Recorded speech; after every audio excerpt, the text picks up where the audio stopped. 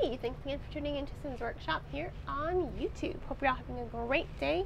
So today we're going to be talking about Unravel the Dusk by Elizabeth Lim. Absolutely love this novel. Um, you think I'm going to say something bad, but no, I'm just trying to gather my thoughts before I looked over my notes. Um, I, what I really liked about this book is the characterization. And I really do think the characterization is solid. You know, in the first novel, I don't know if you've read it, um, Spin the Dawn, it's a journey uh, that Maia is going on of self discovery. You know, she really didn't see herself as a lot of strength. All she wanted was to be a tailor, and in order to do so, she had to uh, masquerade as her brother. Now, what was sorry, my back's killing me today. Um, I hope you all, maybe I should pull the camera a little closer so you can see me. Oop, oop, oop, oop, oop, oop. Oh. All right, a little better. Um, I think the journey she goes on in this novel is much different. She's definitely a stronger character in this novel, um, that's for sure. She she's stronger in a different way. She's still going on a journey here. She's still developing as a character, but her journey is more different. It's it's fueled by her battling the darkness inside of her. Um, if you read the last novel, you know that she's slowly turning into a demon, and the only thing that's keeping the demon at bay are the three magical dresses that she made in the first novel. Uh, the sun dress, the moon dress, and the, you know, the blood of the stars dress. Let me say this first.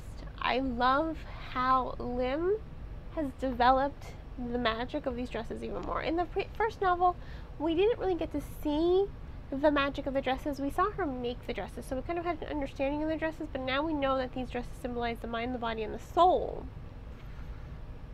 And I think that was incredibly compelling because they are the only thing that's keeping the demon at bay. And every time she uses magic, she's putting herself more and more in danger of falling into darkness.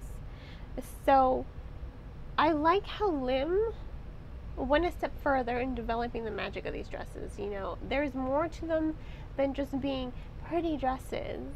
And I liked that, you know, I appreciated it so much because you really got to see these dresses in action. And you really didn't get to see them in action a lot in the first novel.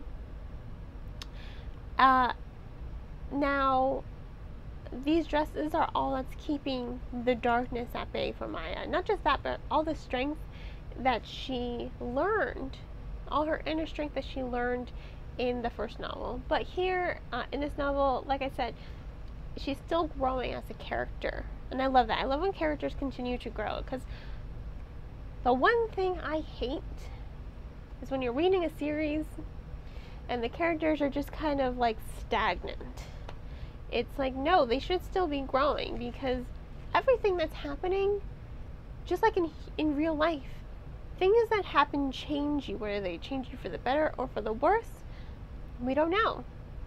But when you read these characters going on these journeys they need to be as real as possible in order to make a connection with the reader. And for my that happens because she's still growing she's still developing she's still becoming stronger.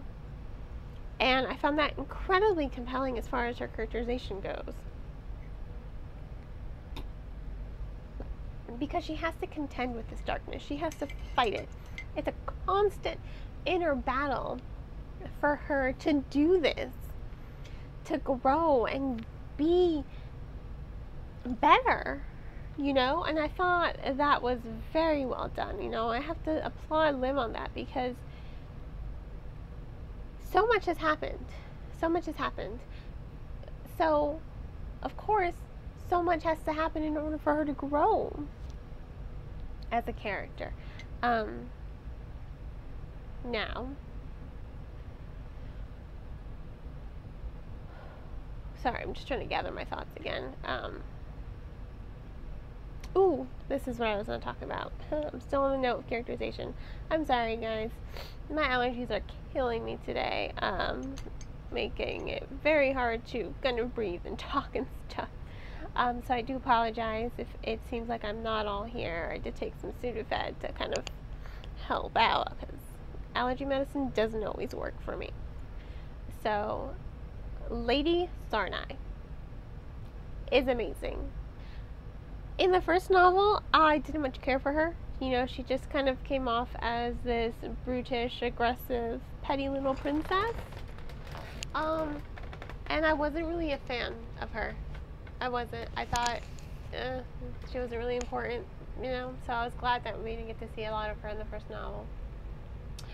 However, we get to know her more in this novel, and she becomes really amazing. I love her. See how that happened?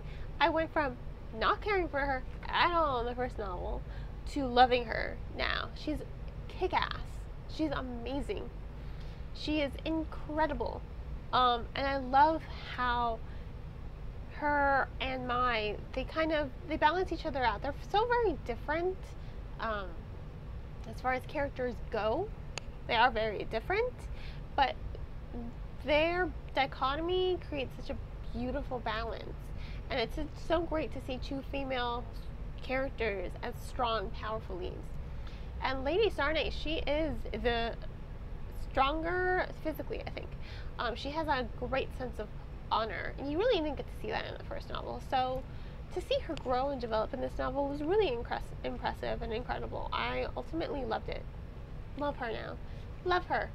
Um, I think Lim made a great decision in focusing on this character and giving her more vitality and giving her more life. You know, because like I said in the first novel, she's really unlikable. Like you can get it.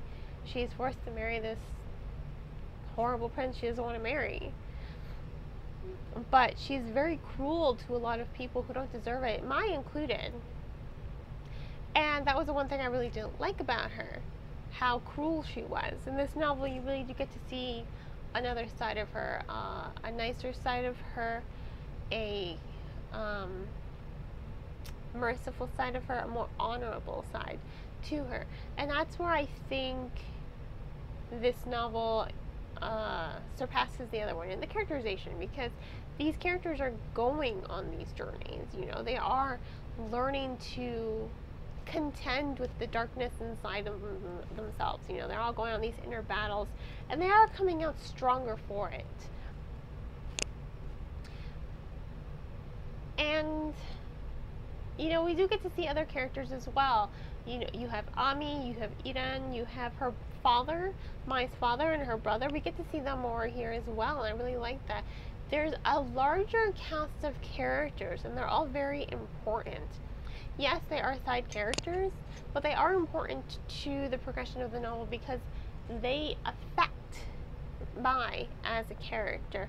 They fill her with goodness, with strength to battle this darkness that's growing inside of her.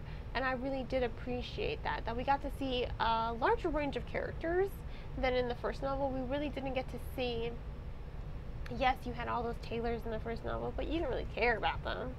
Like, they were just her competition. Um, but here you care about these side characters. They are important to the story. They are important to the plot. And that's what's good about it, you know, that there's all these characters, but they are important. Uh, another thing that really annoys me is when you have side characters and you're just like, okay, then why, why are you here? You're not important. Yeah, I think I reviewed a book uh, a couple weeks ago where I said that. You know, I'm just like, this person didn't need a point of view. I serve no purpose to the story. You know, I hate that. Hate that. It's just one of my pet peeves. It's just like, if, if it doesn't need to be there, if the story works without it, then cut it. I think that's something I learned from college. Because you know, I went to Emerson, studied fine literature publishing. I think that's one of those things that I learned. Um, lots of cutting. uh, so I appreciate that Lim made her characters important to the story and to the plot. You know, they all have really strong dynamics with one another, and it really does create a really fresh, unique take on Asian folklore, you know? And I can't say this enough. I love the magic in this novel. We got to see magic in the first novel, yes.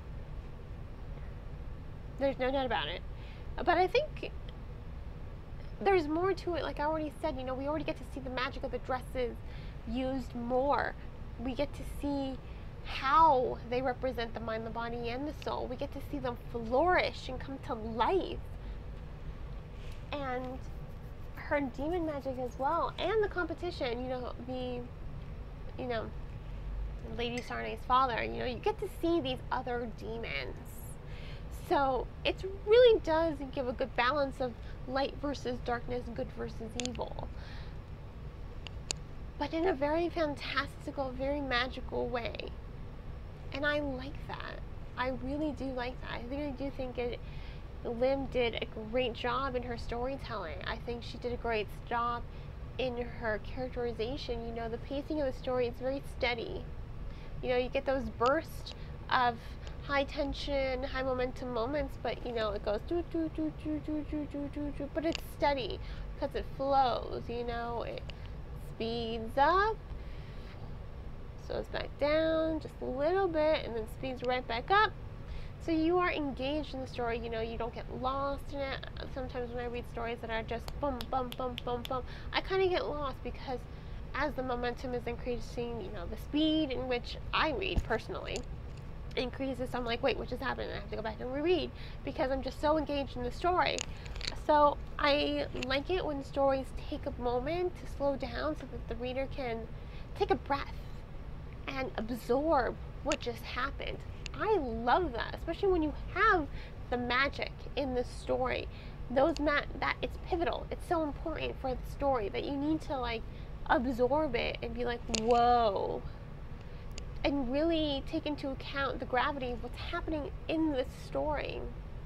So it's a really steady pace. It goes up, goes down, goes up, goes down, but you don't get lost, you don't get bored, and it's very it's very fluid, you know?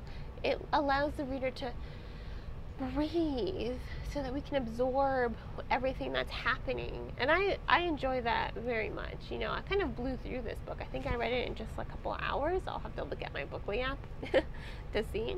But it's very steady. Um, and that's what I like about it. That's what I appreciated about it overall. So, um, there you have it. That is Unravel the Dusk by Elizabeth Lim. I'm going to go ahead and give it four stars. Yeah, four stars. It was a good book. I think it was a really good conclusion to this duology. I love the, exploration and fantastical magical twist to Asian folklore. I think it is a powerful novel, and I really do like the progression of the characters and how well rounded the story is and the dynamics as well.